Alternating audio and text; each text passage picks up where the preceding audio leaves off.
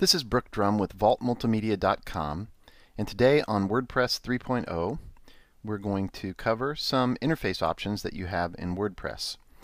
Just getting familiar with the interface, what it can do, and some easy customization to increase your workflow and efficiency. So we've already logged into WordPress and imagine this is your website. There's a few things that you need to know. We're at the dashboard which is where you go when you log in initially. And there's some nice little features in WordPress. One is that when you click on the darker gray bar of a box, it will collapse or expand. And that is available for any of the WordPress boxes. The other thing that is nice is you can get things out of your way and organized uh, in a layout that you like by clicking on the dark bar and moving them around. So we can reorder the things in the layout here, expand and collapse them. And WordPress will remember the settings that you have. So once you get it configured the way that you like, it will stay there for you. Now we're still on the dashboard here, and there are some things that I don't necessarily want to see all the time. So the interfaces of the different screens in the dashboard, once you've logged into WordPress, the admin section. Um, contextually, they will allow you to turn features on and off on each of these screens. So we're on the dashboard screen, and let's say I don't want to see other WordPress news or the WordPress blog. Uh, let's say I never use QuickPress, and I want to I want to see the rest of these. I can configure that collapse that little slide out window. And now I have only the bare minimum that I want to see when I log into the dashboard. It will remember that. So let's look at another page. Let's go to posts. Posts and pages are, are used uh, very often. And it doesn't seem like there's much to do here, but if you pull down the screen options, you can actually uh, see which of the columns in this table that you will see. So select the things that are most useful to you in these different uh, screen layouts. Let's go to Pages. Same type of thing. We can turn on and off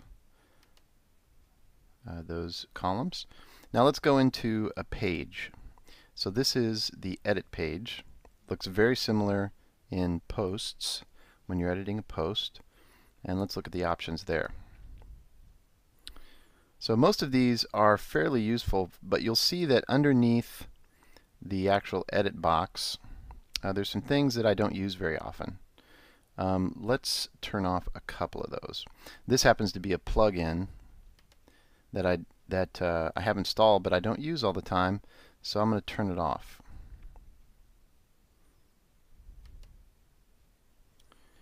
Now, that box won't bother me. Let's turn off another one.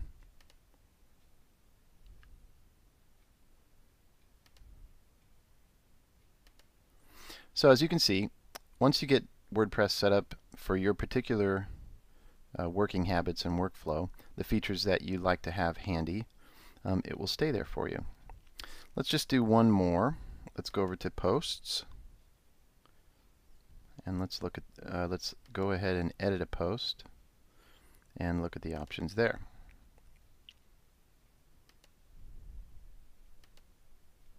Now, all of these are available to you if you want to turn them back on.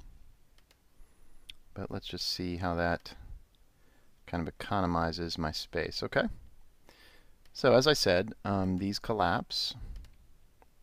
And we can still reorder. So play around with the, the customization features here in WordPress on the dashboard.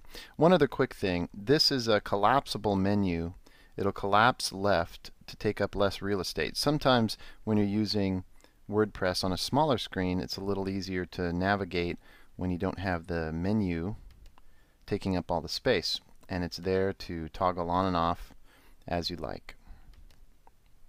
So that's a quick look at some of the WordPress customization features. Uh, get comfortable with the interface before you start editing. This is Brooke Drum with Vault Multimedia you can check out our podcasts at vaultmultimedia.com slash tutorials or visit us in iTunes and subscribe.